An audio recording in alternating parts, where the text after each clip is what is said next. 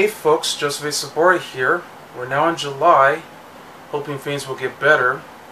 I finally got a haircut. I haven't received one since October because my hair was getting completely long. It's been growing.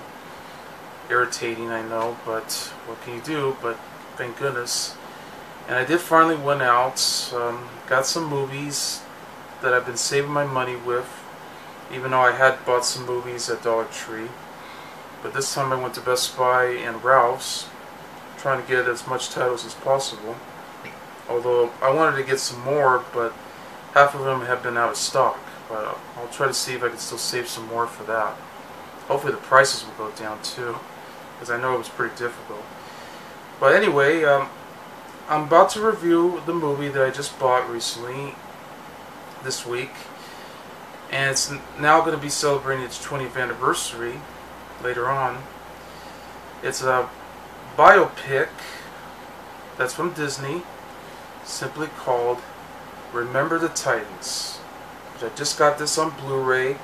It's a combo pack that has the DVD included. Um, it's a story about a black coach named Herman Boone. Was played by Denzel Washington, who um, was about to join in in a town that's been torn apart by friction and mistrust, which is Alexandria, Virginia. He's being assigned as the head coach at T.C. Williams High School, joining in by previous head coach, who just won 15 seasons, who's now becoming the particular assistant, Bill Yost, who's played by Will Patton. It's a very remarkable story based on the true story, no doubt. Even though it may not be as accurate as possible, but that's okay because, you know, usually in these true events movies, they always had to come up with some different stories to make the film even better. I mean, it's not easy doing this, seeing that this is a Disney film. Um, but it's an excellent film. I love this. I remember seeing this in theaters and I had a great time. It really does come together where two coaches are trying to put uh, both black and white students together. They weren't getting along, but you know, once they form together, they'll be they'll not only build a friendship and be able to win many seasons as possible including the biggest triumph of, of them all. Yeah, something they they never seen before, and that's what I love about the story. And even for this time, I mean, yes, this was when this whole racial protest that was going around, you know, during the 60s and even early 70s, where everything started to come together when they finally uh, dealt with that. I mean, I, I know nowadays already with this recent um, tragic uh, death of George Floyd that's been killed by police brutality of four men and that's what led to this protest. They were trying to have a peaceful protest, but then it led to riots. It was just like the Rodney King uh, beating that happened, which led to this riot in 1992 and of course the whole uh, Black Lives Matter. Yeah, which it's true. They do matter. And I know it's nothing new, but it just sucks that this has to happen once again, and they continue with this, even in this COVID-19 situation happening, and that's just, it really sucks. It, it needs to stop. It really does. Um, I'm sorry I had to be off topic on that, but that's what I had to explain about what's happening, especially with this cancer culture going around too. And, you know, it just it just needs to stop. It really does. They shouldn't take police off the force though because of four guys. I mean, for one thing, they shouldn't hire guys who who does a lot of brutality on victims. no matter what race they are. They, they shouldn't be doing this at all. They should be serving and protecting them from criminals. If they get rid of them, then there's not going to be anyone left to protect. And then this is going to be another chaos. It'll be a nightmare for everyone. And we don't want that. Okay, I know, I'm sorry. Um, now back to Remember the Titans here. Um, it did brought in some stars that it became very familiar, such as uh, Donald Faison from the TV show Scrubs, that he went on to do. Hayden Panettiere, who later went on to play the, the cheerleader in the TV series Heroes. Um, she was also the daughter in the movie Joe Somebody with um, Tim Allen and Patrick Warburton along with um, Jim Belushi. Yeah, which I enjoyed that comedy. Um, Nicole Ari Parker. I know she's been in other. I think she's been in other stuff too. Um, Ryan Gosling. One of his earlier roles, um, even though she, he was doing some Canadian shows like um, the spinoff to The Love Boat and Young Hercules, which aired on Fox Kids. Uh, but most of all, he, he started out as a cast member in the, the new Mickey Mouse Club. Yeah, which brought in, you guessed it, um, Timberlake, Spears, and Aguilera. And also has um, Keri Russell, too. and but of course, um, as years follow, he became one of the best um, looking, one of the best um, sexiest man alive uh, actors of them all. You know, doing roles in films like Drive, La La Land, Blue Valentine, Blade Runner 2049, and among others. And he's still one of the top-notch actors to this day. And uh, we also had um, Kate Bosworth um, before she went on to do films like um, Beyond the Sea. Uh, she was also in Blue Crush. And of course, she played Lois Lane in Superman Returns, among others. Um, which, in my opinion, it, it could have been for Amy Adams instead. But hey, let's go. Um, um, but they also had other stars. I mean, they even started joining in some real life athletes to join in. They had other actors like um, uh, Wood Harris, who went on to do the TV show The Wire. Um, Ryan the Hurst, um, who actually went on to do Be Taken. Um, which is uh, the Steven Spielberg uh, series, uh, not to be confused with the movie with uh, Liam Neeson. But he also went on to do uh, We Were Soldiers, the Mel Gibson film, and also the TV show Sons of Anarchy, among others.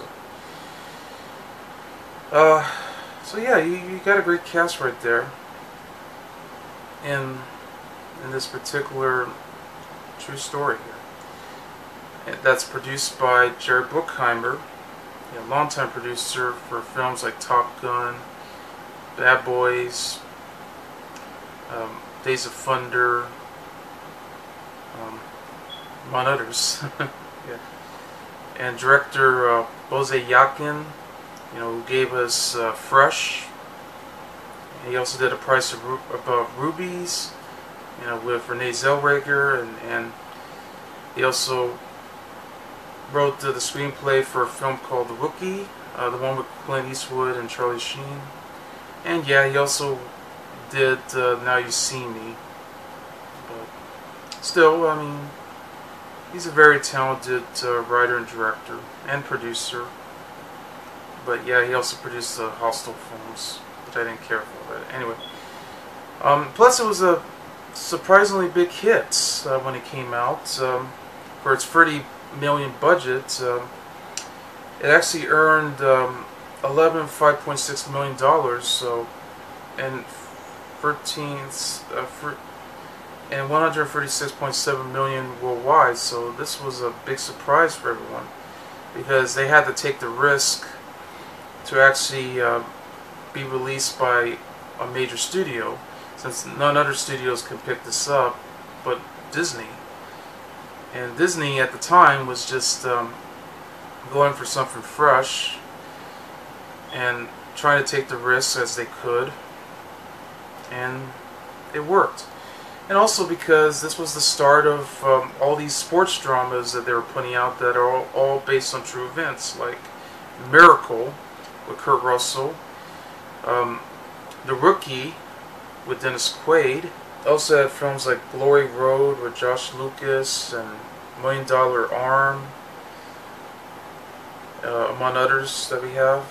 So Disney was really going for something very special that we never seen before. And it's also considered to be one of the best football films to date, no doubt. And rightly so. So anyway, let's begin with the review. It stars Denzel Washington. Yeah, two-time Academy Award winner with films like Glory, uh, Philadelphia, Training Day, uh, the Equalizer films, uh, among others that he's done in his career. And plus, you know, he was best known for the TV series St. Elsewhere.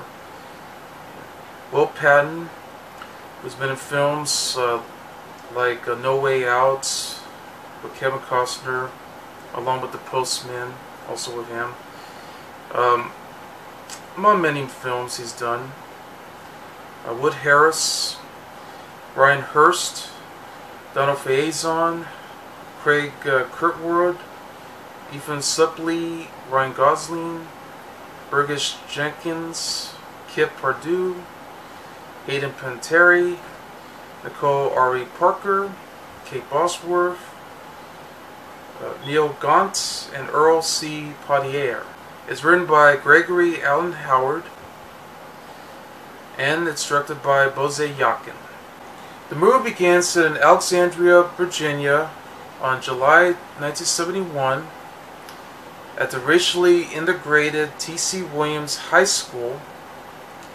We meet a black coach named Herman Boone, played by Denzel Washington, who was hired to coach the football team, joined by their previous uh, white head coach, Bill Yost, who's played by Will Patton, had been nominated for the Virginia High School Hall of Fame, and having to win 15 games in a row by his team.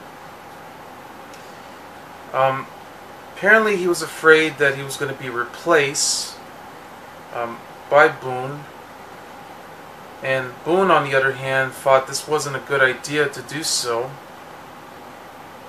So, as several um, conflicts that were going around and some discussion because they're afraid that they might boycott it and they're afraid that you know the rest of the team are not going to join yet alone the entire town by making this conversation that Boone decided to um, join in. You know he's actually a tough opinionated no doubt. And he's going to do the best he can. And Yost suddenly joins in to become the assistant, so hopefully things will work out for both um, high schools to have uh, black students join in with the whites. And that's what led to uh, that one particular day at the gymnasium where, of course, you meet um, all the black students, um, including the Donald Faison as Petey Jones. Yeah, who's um, the right back uh, linebacker. Which at this point on he was smiling and and Boone just came over to him saying, "You're smiling. Why are you smiling? You think football is fun?" And and then he was all nervous and he was stuttering. He was like saying, you know, if it's fun or not. And now he's like saying, now Boone just says, Not anymore now, now is it? And then he says, no, uh, zero fun, sir. Alright, so that's where Boone just uh, steps in, you know, making this conversation with the students before uh, Bill Yost and the rest of the assistant coaches and all, all the other people joined by. I mean, Boone actually has um, joined in with uh, Frankie, uh, played by Neal Ghant, to help out. So now they'll be able to join together by supporting some football training at Gettysburg College as they continue to go on. But unfortunately, everyone was afraid, even the families alone. But hoping that they'll cheer on with this particular um, motivated speech that Boone makes or any other and try to help them out, you know, try to to fix everything that's that could be solved and that way you know things will go for the better and the greater good. Yeah, so and as as it turned out though, I mean things were not going so well at first. All the students they sport out some racism and stuff. They they again had problems and that led to brutal fights happening. I mean that that includes uh, the two main students, Jerry uh, Bertier, who's played by Ryan Hurst, and Julius Campbell, who's played by Wood Harris. I mean Jerry is the linebacker, and Julius is uh, the defense. So now they have to continue um, practicing all the the best moves that any of these uh, players should do. Um, you know, going for those particular special plays, everything. So everything. So now they'll be able to remember from time to time before they end up going back. So that way they'll start the new season. Um, along with um, having to uh, make um, a lot of conversations um, between the students because they have to split apart. You know, we also have uh, other um, students to join in. Even even in the cafeteria scene, I mean, you definitely meet an overweight um, achiever named Louis Lastik, who's played by Ethan Suplee. Uh, I love that moment too when he was like almost playing like a Boone was a drill sergeant and and he was in the army and all, and he was like trying to explain about you know there's one player with with white underwear, bikini style, sir, and all, and and I, I thought that was pretty funny too. I mean, he's he's very lovable. He's he, he pretty much lacked confidence and skills, but at least he's trying to do what's best. And he's also making friends with uh, Petey, and things are going so well as it seems, even though they're having trouble, struggling to build this friendship, and and all the the training skills and everything that's happening. Also, um, just to note too, um, Bill Yost actually has a daughter, very sweet, um, very uh, tomboyish, very tough, named Cheryl Yost, uh, played by Hayden Panettiere. I mean, he basically learned all the steps coming from her father. Um, because at this point on, I mean, she'll probably end up growing up to becoming a female coach uh, for football, and or any other. And I could definitely see that too. Boone actually has a family, uh, has a wife, uh, Carol, played by Nicole Ari Parker, and also has a daughter too. Which at that point on, I mean, they're taking some time to get along too. That sort of thing. Like, Boone's daughter just loves to play with dolls and, you know, trying to um, color her nails and all uh, before she'll be able to get to know uh, Cheryl better. But Cheryl is just trying to teach her about how to do, how to, you know, deal with football and sports and all that. that that sort of thing, but she's just not really interested. that sort of thing. Okay.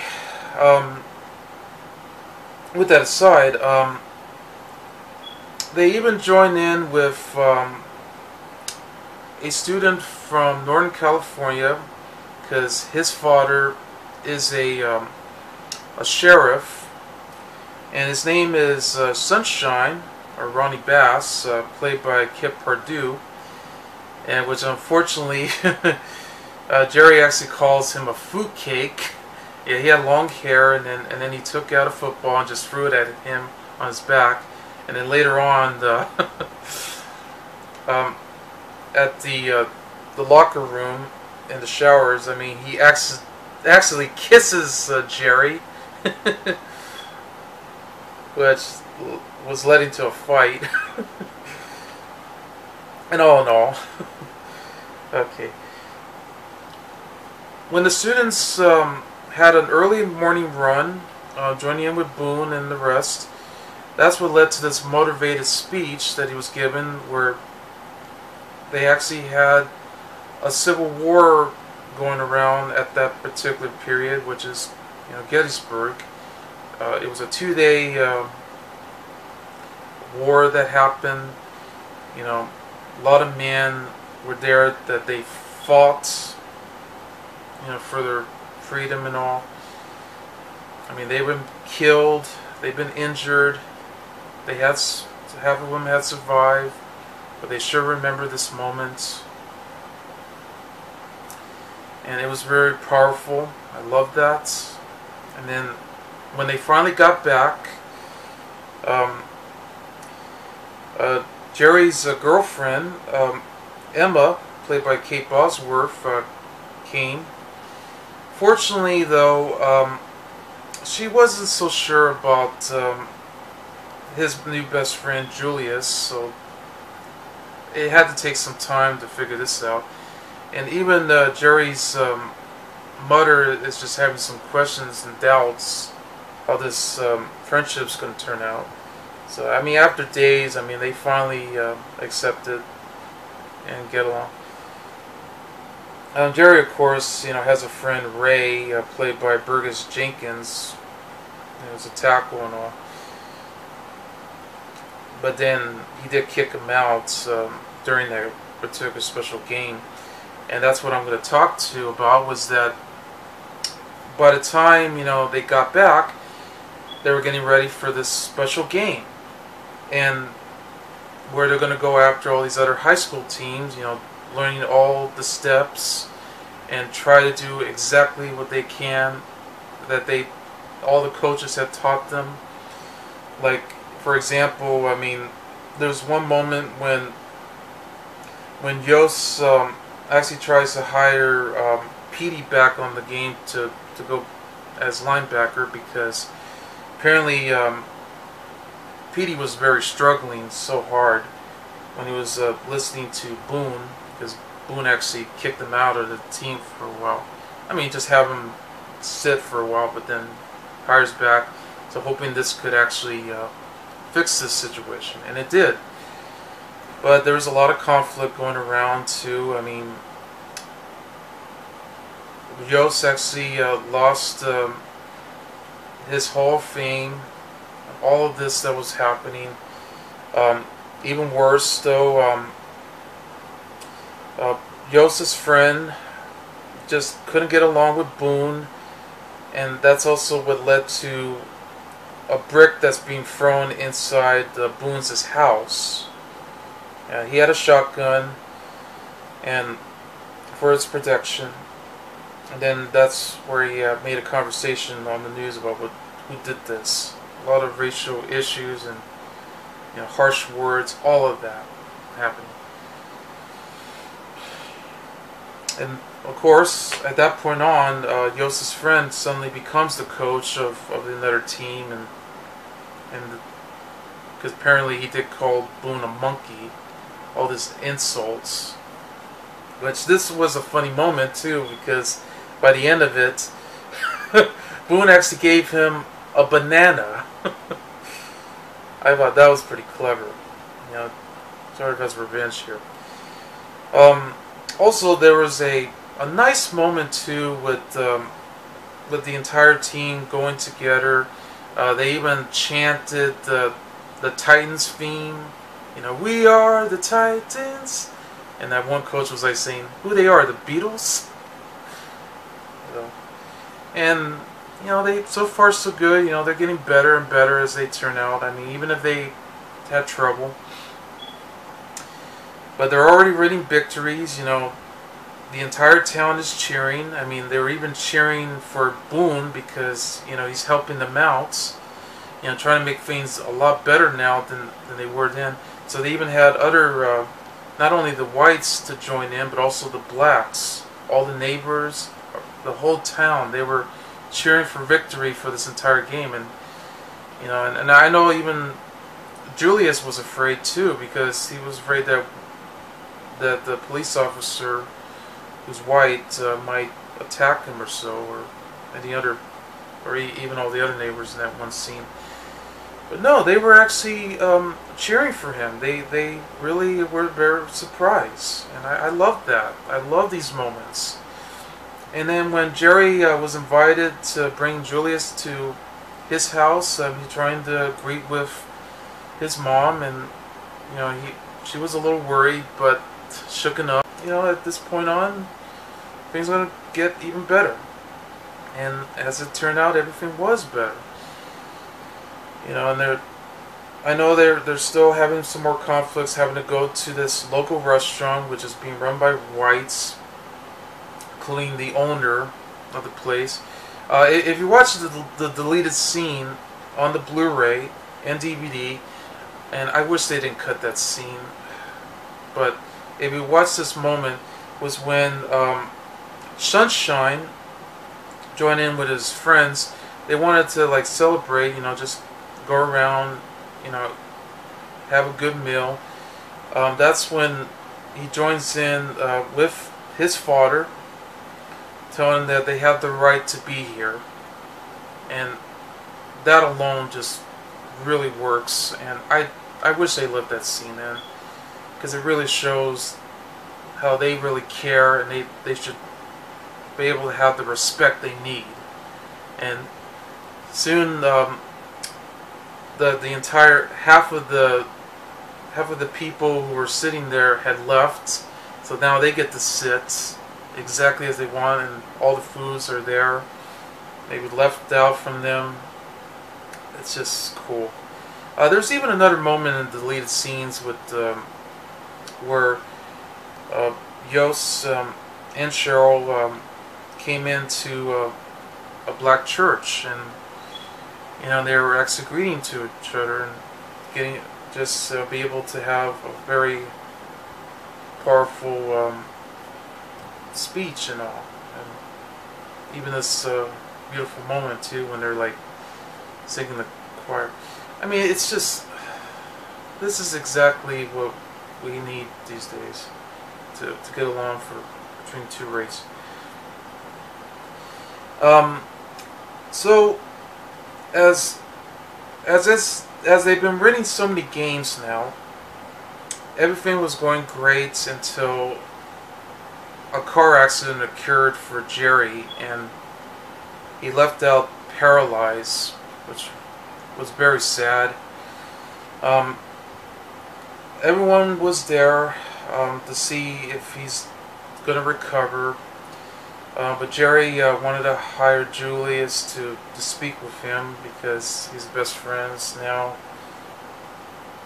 And he's almost like his, it's his own brother.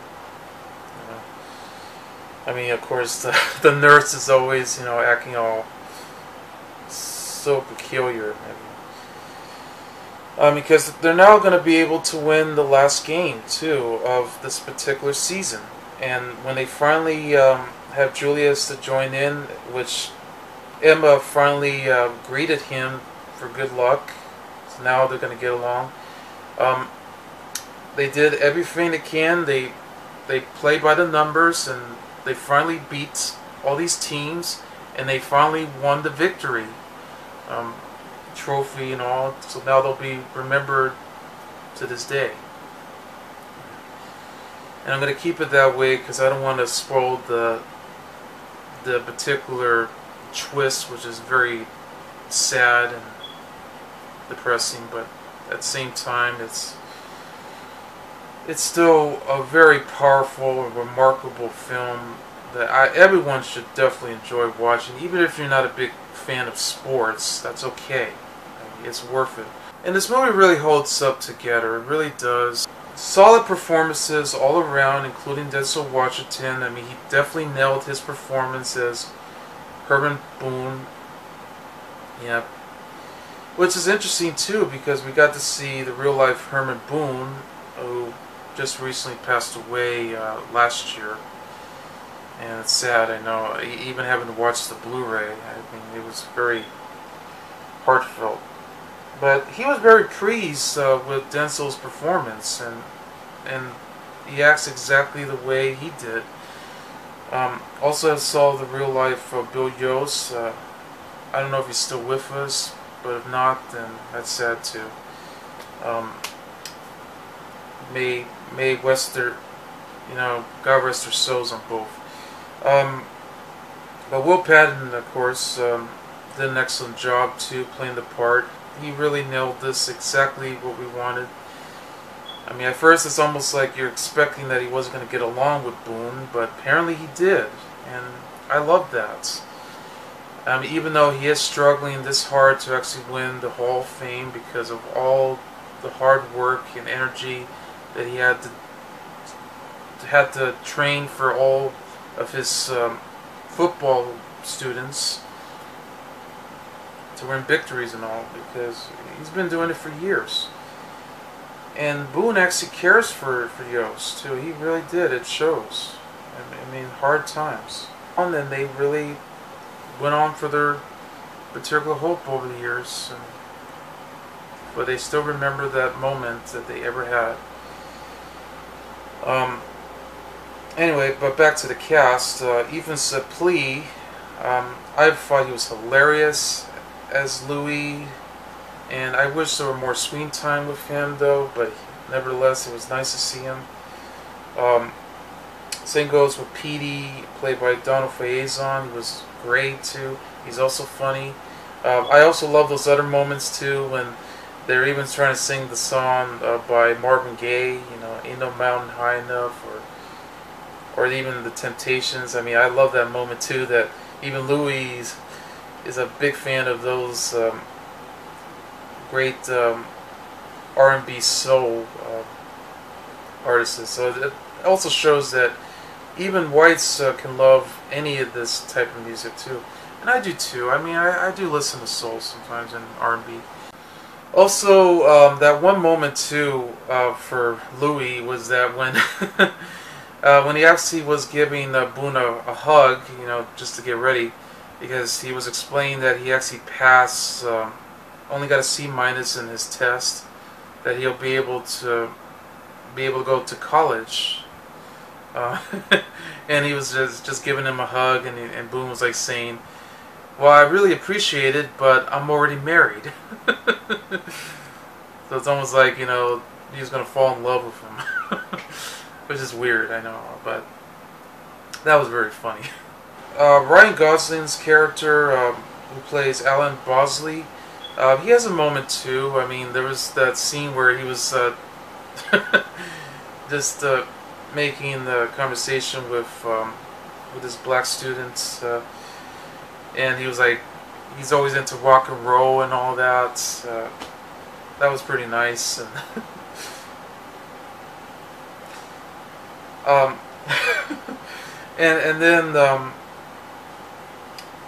there's um, there's a lot of nice um, integrities and honesty, you know. But again, they, there's of course, as I mentioned already, brutal fights, a lot of conflicts with with the town. You know, they had a lot of protests going around. You know, Police have, have been arrived to stop this um, situation, everything that was going around. I mean, it, it was hard. But what's what's more important of them all is that no matter what happens, they're always going to have the, re the respect they deserve, and and they're always going to remember those times that they had, you know, during this particular um, era. Um, they had an amazing soundtrack right there. I mean, it's a mixture of all these songs, um, um, such as The Temptations, Cat Stevens, Marvin Gaye. Yeah. Yeah, they even had the song "The Long Cold Woman in a Black Dress" by the Hollies. I love that song. Uh, they had uh, CCR, you know, Creedence Clearwater Revival, and Bob Dylan. So all, all these artists. Uh, but they actually had a very uh, memorable and wonderful score uh, by Trevor Rabin. In fact, um, you may have heard this in a lot of sporting events like the Olympics. Uh, they actually had the Titans uh, Spirit theme, which that's been so recognized. I mean, you hear this in this entire, well, I think in the end credits as well, because it's a seven-minute instrumental uh, theme that was so powerful that I'm pretty certain that anybody who heard all that will recognize it from this film alone. And that's cool. Um, as for the Blu-ray that I have, um, the transfer is totally pristine. Um, looks even better than ever, a lot sharper and a lot of clarity. I bet this would definitely look even better on 4K Ultra HD too, among others. Because I know the previous DVD that's included on the set uh, was released back in 2001 and it was THX certified and all and it looks really cool